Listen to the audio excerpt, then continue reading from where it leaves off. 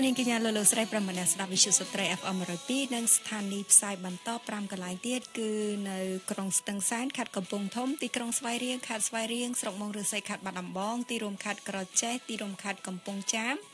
និងប្រិមត្តដែលបើកស្ដាប់តាមអ៊ីនធឺណិតរបស់វិទ្យុស្ត្រី FM 102ដែលមានអាសយដ្ឋាន www.wmc.org.kh ជាទីគោរពរាប់អានចាជួបនាងខ្ញុំជាថ្មីនៅក្នុងកម្មវិធីចិត្តបង្កើយថ្ងៃនេះ ចិត្តបង្កាយនិងជជែកលើប្រធានបទទុះក្រក៏អាចសន្សំបានដែរភូមិឃុំស្រុកស្រែចំការហេតុអ្វីអ្នកក្រចាំបាច់ត្រូវសន្សំចាហើយបើយើងក្រអត់លុយហើយមិនមានលុយពីណាមកសន្សំចាអ្នកណាចង់ដឹងពីវិធីសាស្ត្រធ្វើម៉េចបានយើងអាចសំបានទោះជាយើងក្រក៏ដោយនោះចាអញ្ចឹងលេខទូរស័ព្ទ3ប្រព័ន្ធកំពុងរងចាំលោកអ្នកគឺ012 999 014 015 222 102និង097 85 85 102នៅក្នុងកម្មវិធីចិត្តបង្កាយថ្ងៃនេះយើងក៏មានការអញ្ជើញចូលរួមពីវាគ្មិនកិត្តិយសគឺលោកខំពិសិដ្ឋស្ថាបនិករបស់ PM Leadership ចាប្រហែលជាប្រិមិត្តខ្លះធ្លាប់ស្គាល់អីចឹងតាមរយៈ វគ្គសិក្ខាសាលាផ្សេងផ្សេងអីចឹងចាឥឡូវលោកមានវត្តមាននៅក្នុងបន្ទប់ផ្សាយហើយនាងខ្ញុំសូមអនុញ្ញាតស្វាគមន៍បន្តិចសិនចាជំរាបសួរចាសុខសប្បាយទេចាអរគុណផ្ដល់ពេលវេលាអញ្ជើញចូលរួមនៅក្នុងកម្មវិធីចិត្តបង្កើយថ្ងៃនេះអ្នកដែលចង់ដឹងពីវិធីសាស្ត្រធ្វើម៉េចទោះជាក្រក៏យើងអាចសំប្រាក់បាន កុំភ្លេចណាចូលរួមចែករំលែកទូរស័ព្ទ3ប្រព័ន្ធដែលខ្ញុំបានជំរាបជូនខាងដើមគឺ012 999 014 015 222 102និង097 85 85 102កម្មវិធីនៃចិត្តបង្កើយទូរស័ព្ទចូលរួមលេខ012 999 014 015 222 102និង097 85 85 102 សន្សំប្រាក់ថ្ងៃនេះដើម្បីអនាគតថ្ងៃស្អែកចាដោយលោកអ្នកនាងជ្រាបហើយកម្មវិធីចិត្តបង្កាយឧបត្ថម្ភដោយគ្រឹះស្ថានមីក្រូរ៉ាញ់វត្ថុ AMK PLC AMK PLC មានបណ្ដាញប្រតិបត្តិការច្រើនជាងគេបើគ្រប់តំបន់ប្រតិបត្តិការគ្របដណ្ដប់ទៅលើភូមិប្រមាណជា90%នៃចំនួនភូមិសរុបនៃនៃភូមិនៅក្នុងប្រទេសកម្ពុជាយើងចា៎ អឺមិញហ្នឹងខ្ញុំសួរសំណួរពីខាងដើមថាបើក្រមានលុយពីណាមកសំអ្នកណាខ្លះមានចម្ងល់ដូចខ្ញុំចាកុំភ្លេចចូលរួមក្នុងពេលឥឡូវនេះជួបផ្ទាល់អ្នកជំនាញយើងយើងអាចសួរពីវិធីសាស្ត្រមួយចំនួនចាព្រោះថ្ងៃនេះយើងបានការអញ្ជើញចូលរួមពីលោកខំពិសិដ្ឋស្ថាបនិករបស់ PM Leadership ចា អឺអ្នកដឹកនាំវ័យក្មេងចាថ្ងៃនេះជួបអ្នកល្បីហើយវ័យក្មេងទៀតចាអឺចំណាប់អារម្មណ៍មិនដែរចាតើតើការអញ្ជើញចូលរួមកម្មវិធីយើងថ្ងៃនេះបាទអរគុណច្រើនសម្រាប់ការអញ្ជើញចូលរួមខ្ញុំគិតថានេះគឺជាមោទនភាពហើយគឺជាចំណែកមួយនៃបេសកកម្មនៃជីវិតរបស់ខ្ញុំដោយសារតែបន្ទាប់ពីខ្ញុំបានធ្វើការសិក្សាស្រាវជ្រាវពាក់ព័ន្ធជាមួយភាពជាអ្នកដឹកនាំ កន្លងមកខ្ញុំមើលឃើញថាមនុស្សម្នាក់ម្នាក់មានទំនួលខុសត្រូវមួយមានបេសកកម្មមួយគឺយើងកើតមកគឺដើម្បីបម្រើអ្នកដទៃកើតមកដើម្បីសិក្សារៀនសូត្រដើម្បីទទួលបានភាពជោគជ័យរួចហើយយើងត្រូវប្រើប្រាស់នៅអ្វីដែលយើងដឹងអ្វីដែលយើងចេះទៅជួយអ្នកដទៃផ្សេងទៀតដែលគាត់អាចទទួលបានអត្ថប្រយោជន៍ចេញពីការបែងចែករបស់យើងចាបំរើតែអ្នកដទៃនៅអត់បំរើខ្លួនឯងណាពិសិដ្ឋបាទការពិតដូចនៅក្នុង វិស័យសាសនានានាដូចគ្នាដែរគឺយើងត្រូវជួយខ្លួនឯងសិនមុនជួយអ្នកដទៃចាមានន័យថាបើសិនជាយើងអត់ទាន់ចេះហាលទឹកទេយើងក៏មិនអាចពង្រៀនអ្នកដទៃឲ្យចេះហាលទឹកដែរបាទសម្រាប់អ្នកដែលគាត់ធ្លាប់ជិះយន្តហោះនៅពេលដែលអ្នកធ្វើការនៅលើយន្តហោះគាត់ប្រាប់ឲ្យយើងប្រើប្រាស់ម៉ាស់បាទដើម្បីពាក់ឲ្យក្មេងៗនៅចិត្តនៅពេលដែលយើងមានបញ្ហានៅលើយន្តហោះ គាត់តែងតែប្រាប់យើងថាមុនពេលដាក់ម៉ាស់អុកស៊ីហ្សែនទៅឲ្យអ្នកដទៃត្រូវឲ្យដាក់ដាក់ឲ្យខ្លួនឯងសិនចាមានន័យថាមុនពេលយើងជួយអ្នកដទៃគឺយើងត្រូវជួយខ្លួនឯងសិនបាទចាអរគុណចាអឺជាប្រយោគមួយមានន័យដែរហើយជឿជាក់ថាប្រិមិត្តជាច្រើនដែលលោកធ្លាប់ឮធ្លាប់ដឹងពីអឺ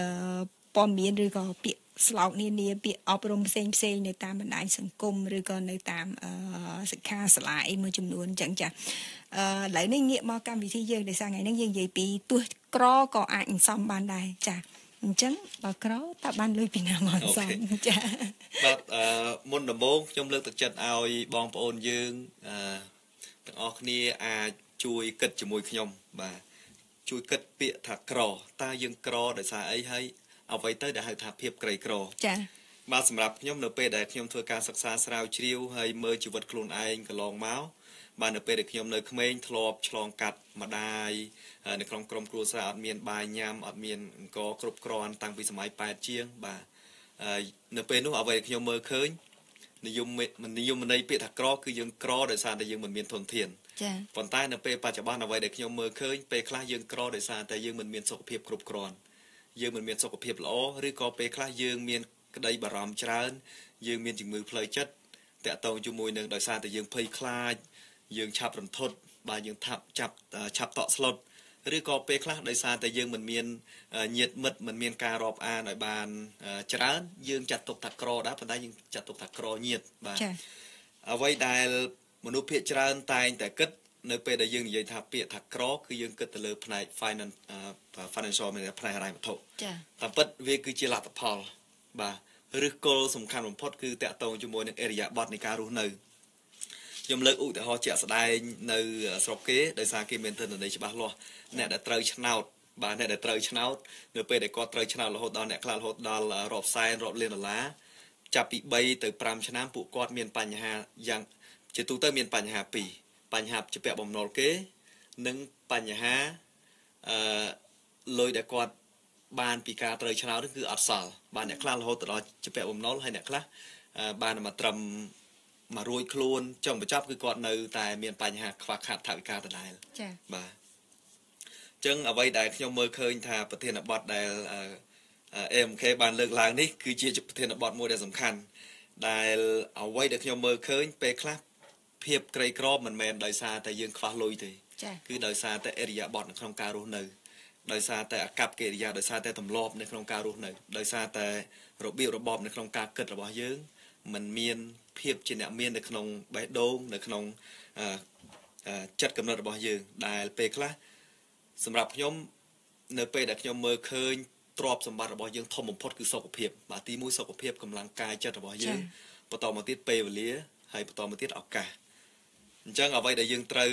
ធ្វើការសន្សំថែទាំនៅមរតកនៅទ្រព្យទី1ដែលឪពុកម្ដាយរបស់យើងគាត់បានថែទាំយើងតាំងពីតូចរហូតមកដល់ពេលនេះគឺយើងត្រូវថែទាំសុខភាពផ្លូវកាយបន្តមកទៀតយើងធ្វើការអភិវឌ្ឍសមត្ថភាពតែខ្ញុំចាត់ទុកជាទ្របផ្នែកបញ្ញាញាណយើងអភិវឌ្ឍសមត្ថភាពចំណេះដឹងបន្តមកទៀតយើងធ្វើការរាប់អានមនុស្សឲ្យបានច្រើនពិសេសមនុស្សដែលមាន ក្រមសីលធម៌មនុស្សដែលមានសុជីវធម៌ល្អល្អនៅក្នុងសង្គមដើម្បីធ្វើឲ្យកិត្តិយសគេឈ្មោះរបស់យើងបានល្អប្រសើរបាទលុយគឺជារឿងបន្ទាប់បាទចាចាអរគុណចា មិញយើងប្រិមិត្តអ្នកស្ដាប់មិញយើងនិយាយតែពីរឿងសំឯណាប៉ុន្តែក្រៅពីរឿងសំនៅខាងក្រោយរឿងសំនឹងគឺមានច្រើនតកតទៅនឹងចំណេះដឹងតកតទៅនឹងសិលធម៌ការរស់នៅអីជាដើមអញ្ចឹងអញ្ចឹងតើអ្វីដែលកម្មវិធីបានលើកឡើងនឹងពាក់ព័ន្ធយ៉ាងម៉េចទៅនឹងការធ្វើឲ្យធនធានរបស់យើងឬក៏ធ្វើឲ្យលុយរបស់យើងកើនឡើងតាមរយៈការសន្សំរបស់យើងហើយតើយើងគួរតែលះបង់អិរិយាបថ អវិជ្ជមានអីខ្លះដែលនាំទៅរកភាពក្រីក្រហ្នឹងចាទូរស័ព្ទ3ប្រព័ន្ធរងចាំលោកអ្នកគឺ012 999 014 015 222 102និង097 85 85 102ចំណេះដឹងផ្នែកហិរញ្ញវត្ថុនិងជម្រាបជូនលោកអ្នកក្នុងកម្មវិធី នៅចិត្តបង្កើយទូរស័ព្ទចូលរួមលេខ012 999 014 015 222 102 និង097 85 85 102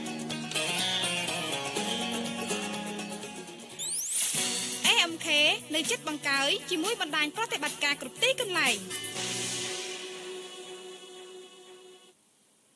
ចាប្រិមត្តកំពុងស្ដាប់កម្មវិធីនៅចិត្តបង្កើយដែលថ្ងៃនេះយើងកំពុងជជែកលើប្រធានបទទោះក្រក៏អាចសន្សំបានដែរឬទេចា វាគ្មិនដែលមានវត្តមាននៅក្នុងបន្ទប់ផ្សាយគឺលោកខំពិសិដ្ឋលោកជាស្ថាបនិករបស់ PM Leadership ចាអឺមិញនេះបានបង្ហាញជូនប្រិមិត្តខ្លះខ្លះជាបែប trailer ហើយជាសង្ខេបមុន ចាអត់តន់ដល់រឿងស៊ីជម្រៅទេរឿងស៊ីជម្រៅ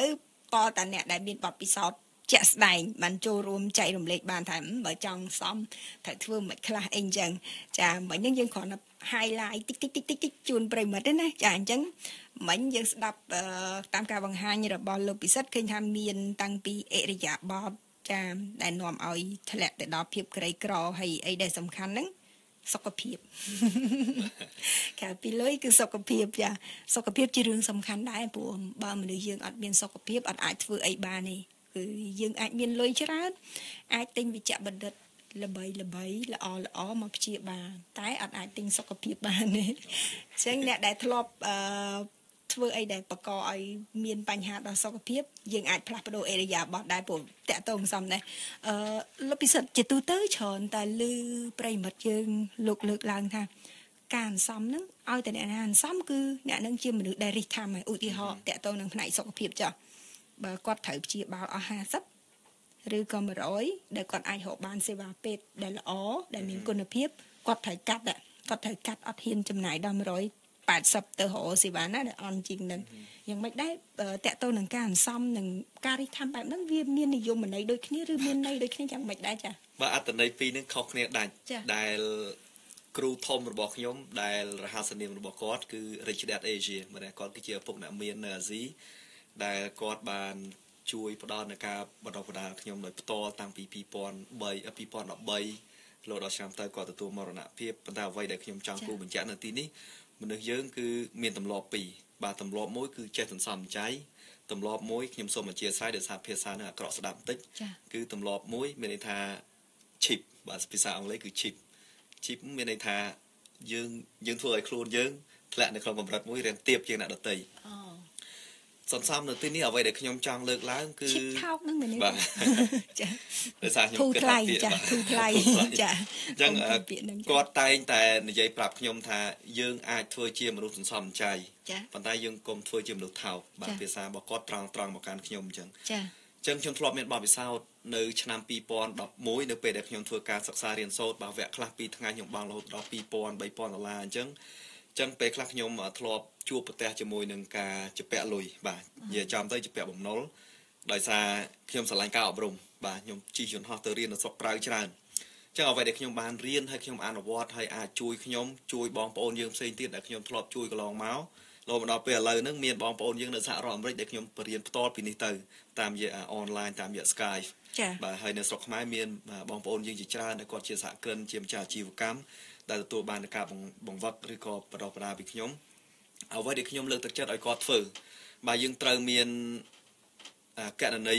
6មានន័យថាយើងអាចប្រើកឡក៏បានដែរបាទកឡជរចា៎បាទកឡជរ6ហើយអ្វីដែលសំខាន់គឺយើងត្រូវមានកឡទី1ដែលយើងចាត់ទុកថាជាកឡសម្រាប់ធ្វើវិនិយោគឬក៏ភាសាអង់គ្លេសយើងចាត់ទុកជា financial freedom account មានន័យថាកណន័យសម្រាប់សេរីភាពផ្នែកហិរញ្ញវត្ថុ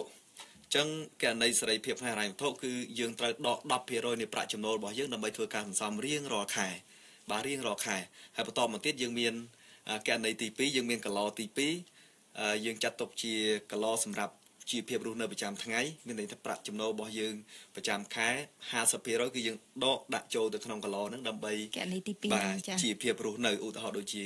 ការហូបចុកកន្លែងស្នាក់នៅ ទឹកភ្លើងបាទសម្លៀកបំពាក់បន្ទាប់មកកណនីទី3គឺតកតងជាមួយនឹងការអប់រំបាទ10%ដែរបាទសម្រាប់ការសិក្សារៀនសូត្រអាចសភៅអាចចូលរួមសិក្ខាសាលាអាចចូលរួមកម្មវិធីបង្វឹកបាទទោះបីយើងអាយុប្រមាណក៏ដោយបើសិនជាយើងឈប់រៀនមានន័យថាយើងកំពុងតែ បាទដូចដូចដូចផ្កាអញ្ចឹងដូចផ្កាអញ្ចឹងតែកាលណាយើងផ្កាហ្នឹងយើងឈប់ស្រោចទឹកយើងឈប់ដាក់ជីគាត់នឹងរិចរិលបាទគាត់នឹងក្រិនគាត់នឹងស្លាប់ទៅវិញមនុស្សយើងដូចគ្នាដែរបើសិនជាយើងធ្វើការហើយនៅពេលដែលយើងអត់បានធ្វើការប្រឹងប្រែងអភិវឌ្ឍខ្លួនឲ្យបានលឿនទេ នៅពេលនោះយើងអាចមានបញ្ហាពាក់ព័ន្ធជាមួយនឹងការបាត់បង់ការងារឬក៏ប្រាក់ខែយើងនៅនៅក្រិនបាទមួយទៀត account ទី4បាទកណនីទី4គឺ កណនីសម្រាប់បរិច្ចាគជួយសង្គមបាទយើងចាំបាច់ត្រូវទៅជួយសង្គមនៅក្នុងកម្រិតណាមួយអាចថាពេលវេលាអាចថាកម្លាំងកាយរបស់យើងប៉ុន្តែនៅទីនេះខ្ញុំនិយាយអំពីផ្នែកថវិកាជាគោលបាទបន្តមកទៀត account ទីទី5គឺយើងសម្រាប់កំសាន្តឧទាហរណ៍ដូចជប់លៀងឧទាហរណ៍ដូចជាញ៉ាំការចា៎អញ្ចឹងសម្រាប់បងប្អូនដែលគាត់ធ្វើការមានប្រាក់បៀវត្សគួរសមគាត់អាចធ្វើបានអា នេះខ្ញុំនិយាយសម្រាប់អ្នកអាមានអាប្រាក់បៀវត្សចាប់ពីអាខ្ទង់100ឡើងទៅចា៎ប៉ុន្តែខ្ញុំនឹងបកមកវិញសម្រាប់អ្នកដែលអត់មានប្រាក់ចំណូលចា៎បាទបន្តមកទៀតអាខ្ទង់ទី6គឺសម្រាប់គេហៅថាភាសាអង់អង់គ្លេសគឺ long term sustainable អឺអឺ long term sustainability បាទតកតងជាមួយនឹងឧទាហរណ៍ដូចជា សម្រាប់បងថ្លៃអឺអឺផ្ទះ មានន័យថាអត្រាការប្រាក់អឺបងបងបងរំលោះផ្ទះឬក៏សម្រាប់ទិញឡាន សម្រាប់ទិញអឺទូរទស្សន៍ធំធំបាទអឺនិយាយចំទៅពាក់ព័ន្ធជាមួយនឹងការអឺផ្គប់ចិត្តខ្លួនយើង សម្រាប់ផ្នែកសម្ភារៈឧចា៎ទាហរណ៍ដូចជាឡានដូចជាម៉ូតូដូចជាទូទឹកកកដូចជាអីយើងធ្វើមិនអាសម្រាប់គ្រប់គ្រងក្រុមគ្រួសាររបស់យើងចា៎នេះសម្រាប់អ្នកមានអ่าប្រាក់ខែរៀងរាល់ខែចុះបើសិនជាយើងអត់មានវិញ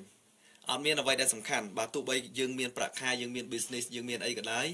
អ្វីដែលសំខាន់ខ្ញុំលើកទឹកចិត្តឲ្យបង្កើតអាកឡទី1គឺកឡសេរីភាពផ្នែកហិរញ្ញវត្ថុមានន័យថាអូខេបាទចា៎អឺរៀងរាល់ថ្ងៃគឺភ្ញាក់ឡើងបាទភ្ញាក់ឡើងគឺយើងត្រូវដាក់ចូលនៅក្នុងគីឡមួយដែលអឺខ្ញុំចាត់ទុកជាគីឡផ្នែកអឺ សេរីភាពផ្នែកហិរញ្ញវត្ថុទោះបី100លុយខ្មែរក៏ដោយអបាទចំនួនមិនមែនជាបញ្ហាអ្វីដែលបញ្ហាគឺទម្លាប់ទម្លាប់ដាក់បាទទម្លាប់នៅក្នុងការដកដាក់លុយនៅពេលដែលយើងដាក់លុយចិត្តយើងសាទរហើយយើងចាប់ផ្ដើមទម្លាប់នៅក្នុងការឲ្យតម្លៃទៅលើសេរីភាពផ្នែកហិរញ្ញវត្ថុទៅលើការធ្វើវិនិយោគហើយលុយនឹងទៀតសោតយើងមិនអាចយកទៅធ្វើអីផ្សេងទេប្រៀបបានដូចស្រូវពូជយើងអញ្ចឹងឬក៏ប្រៀបបានដូចអឺមេមនយើងអញ្ចឹងបាទចា៎យើង ទុកឲ្យញាស់យើងទុកឲ្យពងមកដើម្បីថ្ងៃក្រោយយើងមានអឺអឺសុតមន់ដែលយើងយកទៅភ្ញាស់បង្កើតបានទៅជាកូនមន់បន្តទៀតចា៎អញ្ចឹងកាឡហ្នឹងរៀងរាល់ថ្ងៃទោះបី100លុយខ្មែរក៏ដោយតិចបំផុតគឺ100លុយខ្មែរបាទយើងអាចដាក់បានហើយអ្វីដែលសំខាន់នៅពេលដែលយើងមានទម្លាប់ល្អអញ្ចឹងថ្ងៃក្រោយយើងមានឱកាសផ្សេងទៀតដោយសារតែភាពជាអ្នកមានមិនមែនអាស្រ័យទៅលើលុយតែមួយមុខនោះទេគឺអាស្រ័យទៅលើទម្លាប់ បាទអ្នកខ្លះគាត់រកលុយបានច្រើនប៉ុន្តែគាត់អត់សល់អ្នកខ្លះគាត់រកលុយបានតិចប៉ុន្តែគាត់សល់ចា៎ដូចអឺខ្ញុំបានសិក្សាស្រាវជ្រាវប្រវត្តិរបស់នារីម្នាក់ដែលគាត់ជា cleaner មានន័យថាគាត់ជាអឺអ្នកបោសសម្អាតចា៎ដោយសារតែគាត់មានកម្រិតចំអឺចំណេះដឹងទាបគាត់ធ្វើជាអ្នកបោសសម្អាតអញ្ចឹងគាត់មានការឈឺចាប់អញ្ចឹងគាត់បានធ្វើការសន្សំប្រាក់ចំណូលរបស់គាត់បាទរៀងរាល់ខែតិចម្ដងតិចម្ដងតិចម្ដង